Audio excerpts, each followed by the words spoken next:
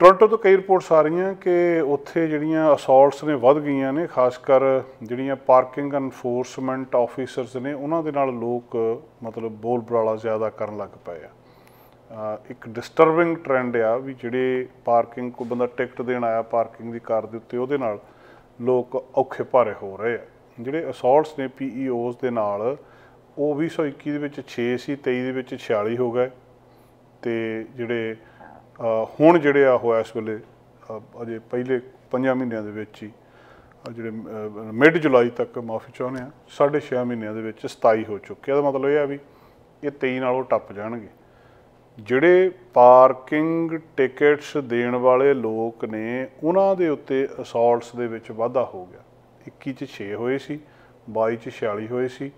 ਮਾਫੀ ਚਾਹੁੰਦੇ ਜਿਹੜੇ 23 ਚ ਅ, 46 ਹੋਏ ਸੀ ਤੇ ਐਤਕੀ ਹੁਣ ਤੱਕ 27 ਹੋ ਚੁੱਕਿਆ। ਪੁਲਿਸ ਚੀਫ ਨੇ ਜਿਹੜੇ ਉਹਨਾਂ ਨੇ ਵੀ ਇਸ ਚੀਜ਼ ਨੂੰ ਕੰਡੈਮ ਕੀਤਾ ਕਿ ਇਸ ਤਰ੍ਹਾਂ ਦੇ ਹਮਲੇ ਜਿਹੜੇ ਆ ਉਹ ਨਹੀਂ ਹੋਣੇ ਚਾਹੀਦੇ। ਅ, ਤੇ ਪਰ ਪਤਾ ਨਹੀਂ ਇਹ ਕੀ ਕਾਰਨ ਆ। ਇਹ ਬਹੁਤ ਜ਼ਿਆਦਾ ਇਹ ਚੀਜ਼ ਦੇ ਵਿੱਚ ਵਾਧਾ ਹੋਇਆ। ਜਿਹੜੇ ਪੀਈਓਸ ਨੇ ਉਹਨਾਂ ਨੂੰ ਅਸੌਲ ਮਤਲਬ ਕੁੱਟਮਾਰ ਕਰਕੇ ਕਈ ਵਾਰੀ ਮੈਡੀਕਲ ਕੇਅਰ ਦੀ ਲੋੜ ਪੈਂਦੀ ਆ। ਤੇ ਇਹਦੇ ਲਈ ਜਿਹੜੇ ਹੁਣ ਲੀਗਲ ਕਨਸੀਕੁਐਂਸ ਵੀ ਹੈਗੇ ਆ ਕਿ ਕਿਸੇ ਪੀਈਓ ਨੂੰ ਜਿਹੜਾ ਅਸੌਲਟ ਕਰਨਾ ਉਹਨੂੰ ਉਸੇ ਤਰੀਕੇ ਨਾਲ ਦੇਖਿਆ ਜਾਂਦਾ ਜਿੱਦਾਂ ਇੱਕ ਪੁਲਿਸ ਵਾਲੇ ਨੂੰ ਅਸੌਲਟ ਕਰਨਾ ਹੋਵੇ। ਤੇ ਫਿਰ ਉਹਦੇ ਵਿੱਚ ਜੇਲ੍ਹ ਵੀ ਆ ਤੇ ਜੁਰਮਾਨੇ ਵੀ ਆ ਪਰ ਜਿਹੜੇ ਇਹਦਾ ਟ੍ਰੈਂਡ ਆ ਜਿਹੜਾ ਇਹ ਇਸ ਵੇਲੇ ਅ, ਘਟ ਨਹੀਂ ਰਿਹਾ ਸਗੋਂ ਵੱਧ ਰਿਹਾ। ਜਿਹੜੀ ਇੱਕ ਸੀਐਮਏ ਦੀ ਰਿਪੋਰਟ ਆ ਕੈਨੇਡੀਅਨ ਮੈਡੀਕਲ ਐਸੋਸੀਏਸ਼ਨ ਦੀ ਉਹ ਰਿਪੋਰਟ ਦੇ ਵਿੱਚ ਇਹ ਦੱਸਿਆ ਜਾ ਰਿਹਾ ਕਿ ਕੈਨੇਡਾ ਨੂੰ ਚੰਗਾ ਹੈਲਥ ਕੇਅਰ ਸਿਸਟਮ ਇੱਕ ਜਿਹੜੇ ਪ੍ਰੋਫੈਸ਼ਨਲ ਦੀ ਟੀਮ ਤੋਂ ਮਿਲਣ ਦੀ ਲੋੜ ਆ, ਕਿਉਂਕਿ ਇਹਨਾਂ ਦੀਆਂ ਨੀਡਸ ਬਹੁਤ ਕੰਪਲੈਕਸ ਆ। ਰੌਲਾ ਕੀ ਆ, ਉਹਨਾਂ ਨੇ ਜ਼ੋਰ ਦਿੱਤਾ ਖਾਸ ਕਰ ਇਸ ਗੱਲ ਦੇ ਉੱਤੇ ਕੈਨੇਡੀਅਨ ਮੈਡੀਕਲ ਐਸੋਸੀਏਸ਼ਨ ਨੇ, ਕਿ ਜਿਹੜਾ ਪਬਲਿਕ ਤੇ ਪ੍ਰਾਈਵੇਟ ਕੇਅਰ ਆ, ਦੋਵਾਂ ਤਰ੍ਹਾਂ ਦੀ ਇਸ ਵੇਲੇ 40 ਮਿਲੀਅਨ ਦੇ ਕਰੀਬ ਪਾਪੂਲੇਸ਼ਨ ਆ ਕੈਨੇਡਾ ਦੀ ਟੋਟਲ 40 ਮਿਲੀਅਨ ਦੇ ਵਿੱਚੋਂ ਜਿਹੜੇ 6 ਤੋਂ 7 ਮਿਲੀਅਨ 6.5 ਮਿਲੀਅਨ ਲੋਕਾਂ ਦੇ ਕੋਲੇ ਫੈਮਿਲੀ ਫਿਜ਼ੀਸ਼ੀਅਨ ਹੈ ਨਹੀਂ। 6.5 ਮਿਲੀਅਨ ਲੋਕਾਂ ਦੇ ਕੋਲ ਜਿਹੜੇ ਹੈ ਨਹੀਂ ਫੈਮਿਲੀ ਫਿਜ਼ੀਸ਼ੀਅਨ ਤੁਸੀਂ ਇਥੋਂ ਅੰਦਾਜ਼ਾ ਲਾ ਕੇ ਦੇਖੋ ਕਿ ਕਿੰਨੀ ਬੁਰੀ ਹਾਲਤ ਆ ਇੱਥੇ। ਤੇ ਹੁਣ ਉਹ ਰੀਜ਼ਨ ਇੱਕ ਮੁੱਖ ਬਣ ਰਿਹਾ ਜਿਹੜਾ ਐਮਰਜੈਂਸੀ ਡਿਪਾਰਟਮੈਂਟ ਓਵਰ ਕਰਾਊਡਡ ਹੋ ਰਹੇ ਆ। ਗੱਲ ਬੜੀ ਸਿੱਧੀ ਆ ਕਿ ਪ੍ਰਾਇਮਰੀ ਕੇਅਰ ਜਿਹੜੀ ਆ ਉਹ ਬਹੁਤ ਜ਼ਰੂਰੀ ਆ। ਡਾਕਟਰ ਕੈਥਰੀਨ ਰੌਸ ਨੇ ਸੀਐਮਏ ਦੇ ਪ੍ਰੈਜ਼ੀਡੈਂਟ, ਉਹਨਾਂ ਨੇ ਇਸ ਗੱਲ ਦੇ ਉੱਤੇ ਜ਼ੋਰ ਦਿੱਤਾ ਕਿ ਜਿਹੜੀ ਪ੍ਰਾਇਮਰੀ ਕੇਅਰ ਆ, ਇਹ ਫਾਊਂਡੇਸ਼ਨ ਆ ਕੈਨੇਡਾ ਦੇ ਹੈਲਥ ਕੇਅਰ ਸਿਸਟਮ ਦੀ ਤੇ ਜੇ ਉਹ ਪ੍ਰਾਇਮਰੀ ਕੇਅਰ ਦੇ ਉੱਤੇ ਗੱਲ ਗੜਬੜ ਆ ਤੇ ਫਿਰ ਸਿਸਟਮ ਸਾਰੇ ਦਾ ਸਾਰਾ ਕੋਲੈਪਸ ਹੋ ਰਿਹਾ ਫੇਲ ਹੋ ਰਿਹਾ।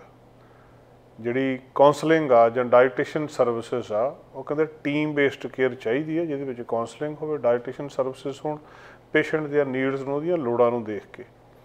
ਹੁਣ ਹੋ ਕੀ ਰਿਹਾ ਇਸ ਵੇਲੇ ਬੇਸਿਕਲੀ ਤੁਸੀਂ ਕਿਤੇ ਐਮਰਜੈਂਸੀ ਦੇ ਵਿੱਚ ਤੁਹਾਨੂੰ ਜਾਣਾ ਪਵੇ। ਲੋਕ ਰੌਲਾ ਇਹ ਪਾ ਰਿਹਾ ਵੀ ਅਸੀਂ ਕੈਨੇਡਾ ਦੇ ਵਿੱਚ ਉਹ ਸਹੂਲਤਾਂ ਚਾਹੁੰਦੇ ਹਾਂ ਜਿਹੜੀਆਂ ਦੁਨੀਆ ਦੇ ਵਿਕਸਿਤ ਮੁਲਕਾਂ ਦੇ ਵਿੱਚ ਹੋਣੀਆਂ ਚਾਹੀਦੀਆਂ। 911 ਕਾਲ ਕਰੋ, ਉਸੇ ਵੇਲੇ ਤੁਹਾਡੇ ਕੋਲੇ ਸਹਾਇਤਾ ਆ ਜੇ।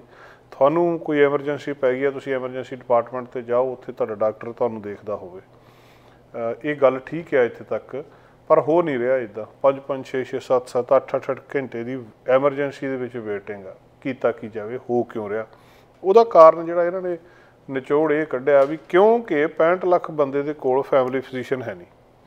ਹੁਣ ਫੈਮਿਲੀ ਫਿਜ਼ੀਸ਼ੀਅਨ ਹੈ ਨਹੀਂ ਅ, 6.5 ਮਿਲੀਅਨ ਲੋਕਾਂ ਦੇ ਕੋਲ ਉਹ ਕੀ ਕਰਨਗੇ?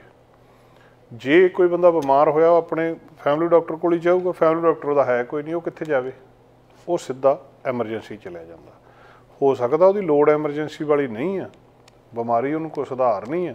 ਪਰ ਕਿਉਂਕਿ ਉਹਦੇ ਕੋਲੇ ਫੈਮਿਲੀ ਡਾਕਟਰ ਹੈ ਨਹੀਂ, ਉਹ ਜਾਂ ਵਾਕ-ਇਨ ਦੇ ਵਿੱਚ ਜਾਂ ਇੱਥੇ ਫਿਰ ਐਮਰਜੈਂਸੀ ਦੇ ਵਿੱਚ ਚਲਿਆ ਜਾਂਦਾ। ਹੁਣ ਐਮਰਜੈਂਸੀ ਦੇ ਵਿੱਚ ਉੱਥੇ ਜਿਹਨੂੰ ਸੱਚੀ ਐਮਰਜੈਂਸੀ ਦੀ ਲੋੜ ਆ, ਉਹ ਉੱਥੇ ਉਹਨੂੰ ਸਰਵਿਸ ਮਿਲ ਨਹੀਂ ਰਹੀ, ਉਹ ਓਵਰ ਕਰਾਊਡਡ ਹੋ ਗਏ ਆ। ਬਹੁਤ ਸਾਰੇ ਲੋਕ ਬਿਨਾਂ ਫੈਮਿਲੀ ਡਾਕਟਰ ਤੋਂ ਉਹ ਜਿਹੜੇ ਨੇ ਵਾਕ-ਇਨ ਕਲੀਨਿਕਸ ਦੇ ਵਿੱਚ ਜਾ ਰਹੇ ਆ ਤੇ ਐਮਰਜੈਂਸੀ ਡਿਪਾਰਟਮੈਂਟਸ ਦੇ ਵਿੱਚ ਜਾ ਰਹੇ ਆ, ਜਿੱਥੇ ਚ ਕਿ ਜਾ ਕੇ ਉਹਨਾਂ ਦੇ ਵਿੱਚ ਭੀੜ ਬਹੁਤ ਵੱਧ ਚੁੱਕੀ ਹੈ ਰეკਮੈਂਡ ਕੀਤਾ ਸੀਐਮਏ ਨੇ ਉਹਨਾਂ ਦੀ ਇੱਕ ਬਾਈ ਰეკਮੈਂਡੇਸ਼ਨਸ ਨੇ, ਜਿਹੜੀ ਉਹਨਾਂ ਨੇ ਦੱਸਿਆ ਕਿ ਇਸ ਕਿਸਮ ਦੇ ਨਾਲ ਇਸ ਸਮੱਸਿਆ ਦਾ ਹੱਲ ਕੀਤਾ ਜਾ ਸਕਦਾ। ਜਿਹੜੀ ਰਿਪੋਰਟ ਆ ਉਹ ਇਸ ਗੱਲ ਦੇ ਉੱਤੇ ਜ਼ੋਰ ਦੇ ਰਹੀ ਹੈ ਕਿ ਜਿਹੜਾ ਹੈਲਥ ਸਿਸਟਮ ਆ, ਇਹ ਜਿਹੜੇ ਇਸ ਕਿਸਮ ਦਾ ਨਹੀਂ ਹੋਣਾ ਚਾਹੀਦਾ ਵੀ ਜਿਹੜੇ ਲੋਕ ਪੇ ਕਰ ਸਕਦੇ ਆ, ਉਹਨਾਂ ਨੂੰ ਸਪੋਰਟ ਕਰੇ ਤੇ ਪਰ ਜਿਹੜੀ ਇਕੁਇਟੀ ਆ, ਉਹ ਮੇਨਟੇਨ ਹੋਣੀ ਚਾਹੀਦੀ ਆ। ਉਸ ਗੱਲ ਦਾ ਖਿਆਲ ਰੱਖਿਆ ਜਾਣਾ ਚਾਹੀਦਾ, ਕੇਅਰ ਵੈਲਿਊ ਦਾ ਖਿਆਲ ਰੱਖਿਆ ਜਾਣਾ ਚਾਹੀਦਾ। ਕਈ ਵਾਰੀ ਤੁਹਾਡੇ ਕੋਲ ਹੁਣ ਸਿਸਟਮ ਦੇ ਵਿੱਚ ਵਾਰੀ ਨਹੀਂ ਆਉਂਦੀ। ਮੰਨ ਲਓ ਤੁਸੀਂ ਕਿਸੇ ਥਾਂ ਦੇ ਉੱਤੇ ਅਪਾਇੰਟਮੈਂਟ ਆ ਤੁਹਾਡੀ ਸਪੈਸ਼ਲਿਸਟ ਦੇ ਕੋਲ, ਮਹੀਨੇ ਦੋ ਦੋ ਮਹੀਨੇ ਤਿੰਨ ਤਿੰਨ ਮਹੀਨੇ ਤੁਹਾਡੀ ਵਾਰੀ ਨਹੀਂ ਆਉਂਦੀ। ਤੁਸੀਂ ਪ੍ਰਾਈਵੇਟ ਚਲੇ ਜਾਓ। ਮਤਲਬ ਕੁਇਕ ਵਾਰੀ ਆ ਜਾਂਦੀ, ਜੇ ਮੰਨ ਲਓ ਤੁਸੀਂ ਇੰਸ਼ੋਰੈਂਸ ਆ, ਕੋਈ ਵਿਜ਼ਟਰ ਆਇਆ ਆ ਉਹਨੇ ਸਪੈਸ਼ਲਿਸਟ ਨੂੰ ਮਿਲਣਾ ਆ, ਤੇ ਉਹਦੇ ਕੋਲੇ ਇੰਸ਼ੋਰੈਂਸ ਆ, ਉਹਦੀ ਵਾਰੀ ਜਲਦੀ ਆ ਜਾਂਦੀ ਆ।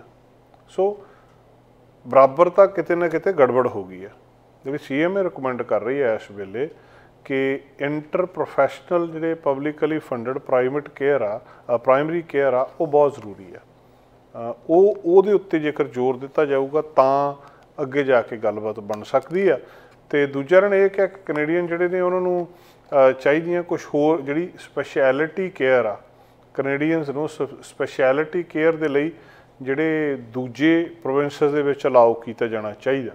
ਜੇ ਉਹਨਾਂ ਦਾ ਪ੍ਰੋਵਿੰਸ ਉਹ ਕਾਸਟ ਕਵਰ ਕਰਦਾ ਆ। ਵੇਟ ਟਾਈਮ ਦੇ ਉੱਤੇ ਅਰਜੈਂਸੀ ਹੈ ਜਿੰਨਾ ਲੰਬਾ ਵੇਟ ਟਾਈਮ ਆ ਡਾਇਗਨੋਸਟਿਕ ਟੈਸਟ ਦੇ ਵਿੱਚ ਤੇ ਸਰਜਰੀ ਦੇ ਵਿੱਚ ਉਹ ਬਹੁਤ ਕ੍ਰੂਸ਼ੀਅਲ ਆ। ਖਾਸ ਤੌਰ ਦੇ ਉੱਤੇ ਜਿਹੜੀ ਕੈਨੇਡਾ ਦੀ ਪੋਪੂਲੇਸ਼ਨ ਇਸ ਵੇਲੇ ਏਜਿੰਗ ਆ ਬਜ਼ੁਰਗ ਹੋ ਰਿਹਾ, ਨੌਜਵਾਨ ਤੇ ਇੱਥੇ ਹੈ ਨਹੀਂਗੇ ਜਾਂ ਘੱਟ ਨੇ, ਤਾਂ ਉਹ ਮਤਲਬ ਇੱਕ ਬਿਮਾਰੀ ਜਿਹੜੀ ਹੈ ਜੇ ਤੁਸੀਂ ਉਹਨੂੰ ਨਹੀਂ ਡਾਇਗਨੋਸ ਕਰੋਗੇ, ਉਹਦੇ ਜਿਹੜੇ ਟੈਸਟ ਨਹੀਂ ਕਰੋਗੇ ਜਾਂ ਉਹਦਾ ਇਲਾਜ ਟਾਈਮ ਤੇ ਨਹੀਂ ਕਰੋਗੇ ਤੇ ਹੋਊਗਾ ਕੀ? ਉਹ ਬਿਮਾਰੀ ਹੋਰ ਵੱਡੀ ਹੁੰਦੀ ਜਾਊਗੀ। ਇਸ ਕਰਕੇ ਪ੍ਰਾਇਮਰੀ ਪੱਧਰ ਦੇ ਉੱਤੇ, ਇਹਦੇ ਉੱਤੇ ਜ਼ੋਰ ਦੇਣ ਦੀ ਲੋੜ ਆ। ਸਾਡਾ ਹਰ ਇੱਕ ਪ੍ਰੋਗਰਾਮ ਦੇਖਣ ਤੇ ਸਾਡੇ ਨਾਲ ਜੁੜਨ ਲਈ ਸਬਸਕ੍ਰਾਈਬ ਕਰੋ। ਚੈਨਲ ਪੰਜਾਬੀ ਤੇ ਨੋਟੀਫਿਕੇਸ਼ਨ ਲਈ ਬੈਲ ਆਈਕਨ ਵਾਲੇ ਬਟਨ ਤੇ ਕਲਿੱਕ ਕਰੋ।